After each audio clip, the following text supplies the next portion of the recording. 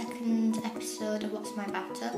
Today I'll be showing you um, You've Been Mangoed and um, hopefully this will turn my bath orange and this is a bath melt by the way, it's already melting. So I'm just going to drop it in.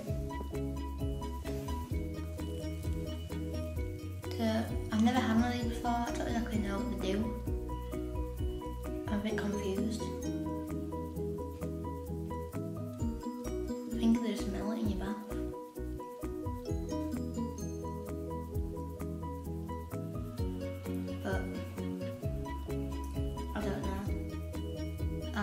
Bit of orange coming up right now.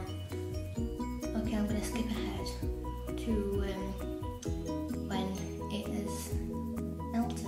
Okay, so it's now all melted and for some reason there's a little bit of bubbles. I don't know why it's like that, but um, my bath is a bit cloudy